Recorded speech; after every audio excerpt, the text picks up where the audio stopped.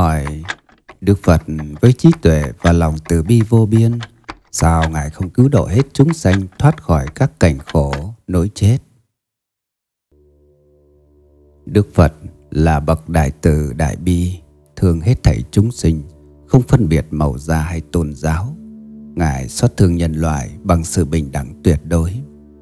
Đức Phật không phải là đấng toàn năng, có khả năng ngăn chặn các thiên tài như bão lụt, động đất, sóng thần, vân vân. Hay đáp ứng tất cả lời cầu xin của mọi người để mọi người không khổ đau hay dùng thần thông đưa chúng sinh về coi an lạc được. Phật là người đã giác ngộ và giải thoát hoàn toàn. Ngài thấu rõ tất cả, toàn diện và vô bờ bến. Thấu rõ mọi liên hệ nhân duyên và nhân quả ba đời của tất cả chúng sinh. Nhưng chính Ngài không thể làm được những điều trái với luật thiên nhiên nhân quả được.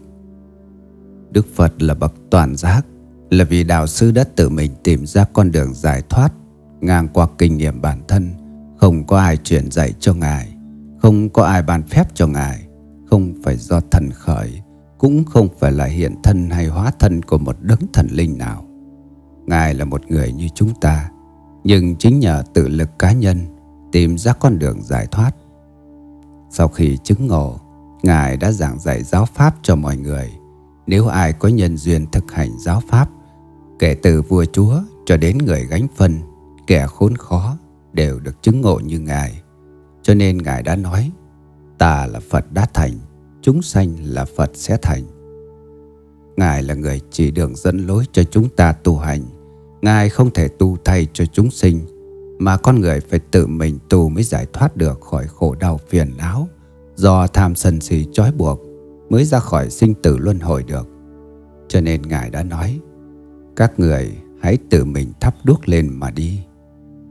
Ngài khuyên chúng ta nên nương tựa vào chính chúng ta và đi theo con đường giải thoát bằng nỗ lực của chính chúng ta. Phật không thể chuyển được nghiệp của chúng sinh mà chỉ có thể từ bi chỉ dạy chúng sinh tự mình nỗ lực để thay đổi cuộc đời của mình.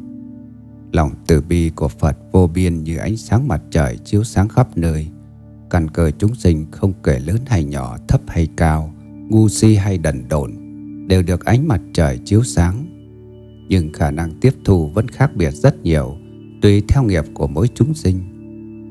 Có người vừa mới sinh ra đã mù cả hai mắt, tùy ở trong ánh sáng mặt trời mà không thấy được ánh sáng mặt trời như thế nào. Côn trùng sống dưới đất và những vi sinh vật ở nơi tối tăm, tuy cũng trực tiếp hay gián tiếp cảm nhận được ánh sáng mặt trời, nhưng chúng không thể biết được lợi ích của ánh sáng mặt trời là thế nào. Ngay cả khi Phật Thích Ca còn tại thế, tại những vùng được Ngài giáo hóa, cũng có rất nhiều người không biết Phật là ai. Các đức Phật ba đời khi còn hành đạo Bồ Tát đều phát lời nguyện độ hết thảy chúng sinh.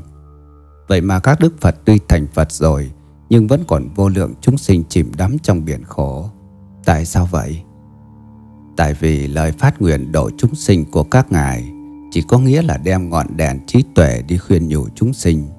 Nếu chúng sinh không chịu vâng theo lời dạy mà tu hành, bản thân cứ tiếp tục làm chuyện ác, thì họ phải lãnh quả báo xấu, đúng theo kỳ luật nhân quả chư phật và chư bồ tát cũng không thể xóa bỏ nghiệp ác của họ được chứ độ không có nghĩa là cứu rỗi mà có nghĩa là giáo hóa để cho chúng sinh biết được chân lý mà tự tu tự độ khi phật còn tại thế ngoài điều ngài nói không thể chuyển nghiệp của chúng sinh được ngài cũng không nói là không thể độ thoát cho những chúng sinh mà Ngài không có duyên độ họ.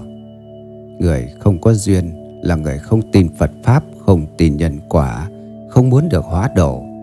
Vì vậy, khi Phật Thích Ca còn tại thế, tuy vua Lưu Ly xứ Cô Sa La giấy binh tàn sát dòng họ Thích Ca, mà Ngài không thể nào dùng phép thần thông để ngăn chặn được vụ thảm sát.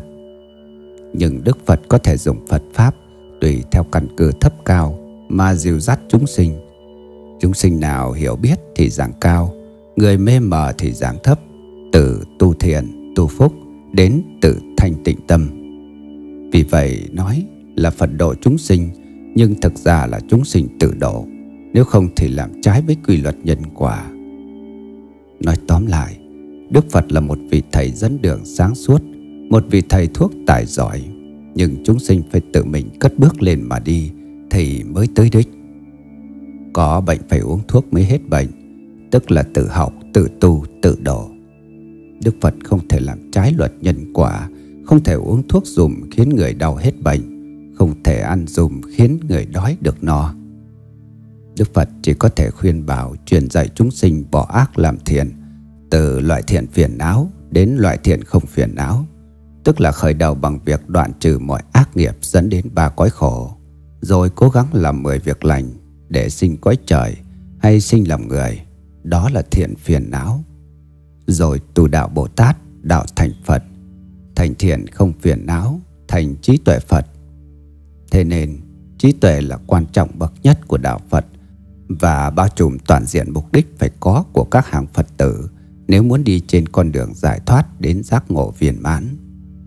Trí tuệ này xuất hiện khi bản thân người Phật tử hành trì các pháp môn tu để thanh tịnh tâm và giữ gìn giới hạnh.